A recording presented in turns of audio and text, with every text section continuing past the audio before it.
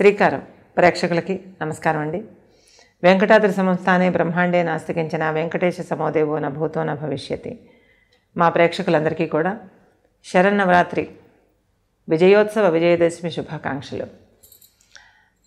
మీరంతా ఈ విజయదశమికి మరింత అనుకూలమైన దాంపత్యాన్ని పొందాలని తల్లులు మరింత అనుకూలమైన దాంపత్యాన్ని పొందాలని సుమంగళులుగా కళకళలాడుతూ ఇళ్ళలో తిరగాలని మనస్ఫూర్తిగా కోరుకుంటూ సుమంగళి పూజ గురించి చిన్న విషయం చెబుతారండి మీ ఇళ్ళలో ఈ సుమంగళి పూజ అలవాటు ఉంటే చేసుకోవాలండి.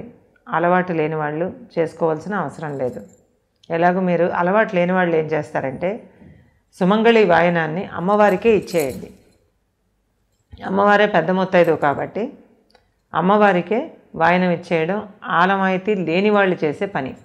ఆ వాయనం ఏమిటి అంటే చీర జాకెట్ ఎరుపు చీర. ఎరుపు చీర జాకెట్టు పసుపు కుంకుమ గాజులు పువ్వులు.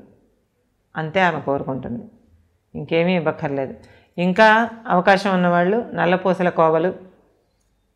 కోవ అంటే కోవా బిళ్ళు అనుకున్నారు కాదండి నల్లపూసల దండ.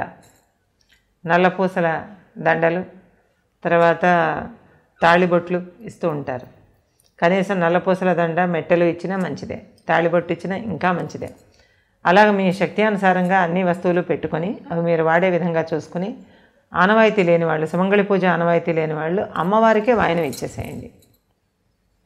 ఆనవాయితీ ఉన్నవాళ్ళు చేసుకోవాల్సినటువంటి సుమంగళి పూజ ఏ విధంగా ఉండాలి అంటే చేసేవాళ్ళు ఏ వర్ణం వాళ్ళైనా సరే ఏ కులస్తులైనా సరే ఆ సుమంగళి పూజ చేయటానికి చక్కటి యువతులు లేదా పెద్ద ముత్తైదువులు. అంటే ముప్పై వరకు వాళ్ళు యువతుల కింద లెక్క. ముప్పై దాటిన తర్వాత పెద్దవాళ్ళ కింద లెక్క.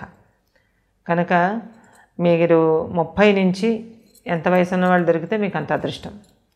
ఆ విధంగా చేసుకొని మీరు తొమ్మిది మంది సుమంగళి స్త్రీలని పిలిచి నవదుర్గలుగా వాళ్ళని భావించి వాళ్ళకి మీ శాయశక్తుల అయితే దుర్గాష్టమి నాడు లేదా నవమి నాడు లేదా సప్తమి నాడు అలాగ పంచమి దాటిన తర్వాత ఏ రోజైనా పెట్టుకోవచ్చండి. పంచమి వరకు అవ్వదు.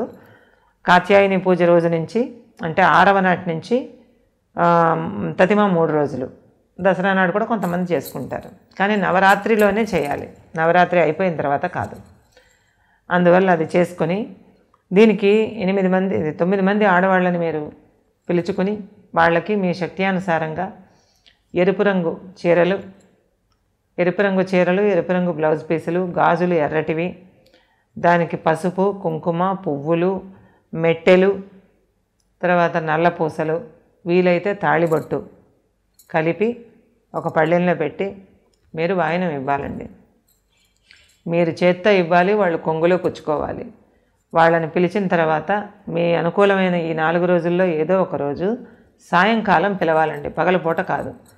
సాయంకాలం పిలవాలి. సాయంకాలం పిలిచి సాయంకాలం మీరు రోజంతా ఉపవాసం ఉండి సాయంకాలం స్నానపానాదులు చేసుకొని అమ్మవారికి దీపారాధన చేసి అగరబత్తి పెట్టి అంతా అయిన తర్వాత అప్పుడు ఈ తొమ్మిది మందిని కూర్చోబెట్టి వాళ్ళకు వరుసగా పసుపు రాసి బొట్లు పెట్టి ఈ వాయినాలన్నీ మధ్యాహ్నమే సిద్ధం చేసుకుని పెట్టుకుని వాళ్ళకి అక్షతలు వాళ్ళ చేతికిచ్చి మీరు ఒక్కొక్కరికి ఒక్కొక్క దుర్గా పేరు శైలపుత్రి దుర్గకి నేను ఇస్తున్నాను అని మనసులో భావన చేసుకుని ఆ దుర్గకి నేను వాయినం ఇస్తున్నానన్న భావనతోనే ఆమె ఆ శైలపుత్రి దుర్గగా భావించుకుని నవదుర్గల్ని భావించుకోవాలి.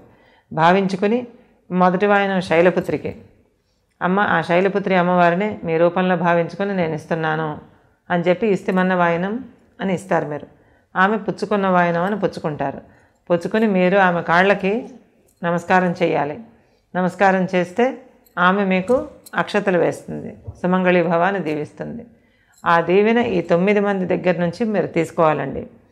తీసుకుని ఆ తర్వాత మీ తల మీద ఎన్ని అక్షతలు ఉంటాయో అన్ని అక్షతలు తర్వాత తీసుకొని దాన్ని వేరేగా పొట్లం కట్టి పెట్టుకొని మీ పర్సులోనో ఎందులోనో పెట్టుకొని మీకు ఏదైనా అనారోగ్య సమస్యలు ఏర్పడినప్పుడు మీ భర్తకి కానీ మీకు కానీ ఈ అక్షతలు తల మీద వేసుకుని ఆ దేవికి దీపారాధన చేసి మీరు కోలుకోవాలని మీ వారు కోలుకోవాలని కోరుకుని ఆరోగ్యాన్ని ప్రసాదించమని వేడుకుంటే ఈ అక్షతల శక్తి అక్కడ పనిచేస్తుంది. మీకు ఏ రకమైనటువంటి ఇబ్బందులు ఉండవు. కాబట్టి ఇంత మహామహిమాన్వితమైనటువంటి సుమంగళి అర్చన సుమంగళి పూజని మా వీక్షకులు శ్రద్ధాసక్తులతో భక్తి ప్రపత్తులతో తమ తమ శక్త్యానుసారం చేసుకుని ఇదేమీ ఐశ్వర్య ప్ర ప్రదర్శన కోసం చేసే పూజ కాదండి. చేసి మీరు భక్తి శ్రద్ధలతో చేయడమే ఇంపార్టెంట్ మీరు కాటన్ చీర ఇచ్చిన చీటిగుడ్డ చీర ఇచ్చిన పట్టు చీర ఇచ్చిన అది అనవసరం. మీరు కట్టుకోవడానికి పనికొచ్చే చీర ఇస్తే చాలమ్మా. మీరు కట్టుకోగలిగితే అదే వాళ్ళకి ఇవ్వాలి. కాబట్టి మీరు కట్టుకోగలిగిన స్థితిలో ఉన్నవే మీరు పంచడం అనేది మీరు అలవాట్లో పెట్టుకోండి మీ లైఫ్ బాగుంటుంది. ఎందుకంటే చాలామంది దేవుడి గుడికి వెళ్ళినప్పుడు చిన్న చిన్న అరటిపళ్ళు అవి చిన్న ఎలక పిల్లల్లా ఉంటాయి. మనమే తినం. దేవుడికి ఎలా ఇస్తాం?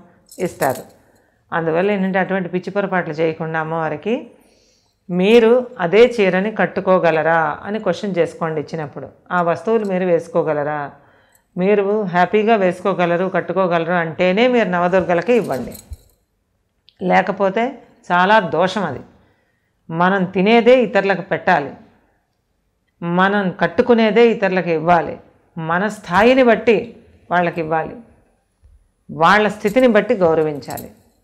ఇది శాస్త్రసమ్మతమైనటువంటి విషయం. కాబట్టి దసరా నవరాత్రుల్లో అపరాజితాదేవి ఆశీస్సుల కోసం సుమంగళి పూజ చేసుకునేటటువంటి సువాసినులు చక్కగా మీరు సంతోషదాయకమైనటువంటి వాతావరణాన్ని ఇంట్లోనూ మీ దాంపత్యంలోనూ నెలకొనాలన్న కోరికతో ఉంటారు కాబట్టి అదే కోరిక అమ్మవారికి నివేదించుకుని మీ తాళి పది కాలాల పాటు మీ జీవిత పర్యంతం మీ గుండెల మీద పచ్చగా వెలుగుతూ ఉండాలి అన్నది మనసులో పెట్టుకొని ఈ సుమంగళి పూజని మీ శక్తి అనుసారం చేసుకోండి.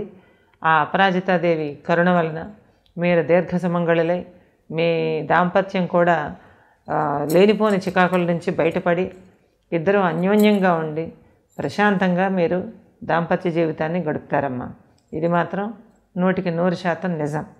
కనుక అనవసరమైన శంకలకు పోకుండా మీ శక్త్యానుసారం శ్రద్ధాభక్తి లోపం లేకుండా చక్కగా జరుపుకొని ఆ అపరాజితాదేవి ఆశీస్సులు ఆ త్రిపుర సుందరి ఆశీస్సులు మీకు సంపూర్ణంగా లభించాలి. ఆ లలితమ్మ మీతో ఉండాలని మనస్ఫూర్తిగా కోరుకుంటూ దేవీ కటాక్ష సిద్ధిరస్తు.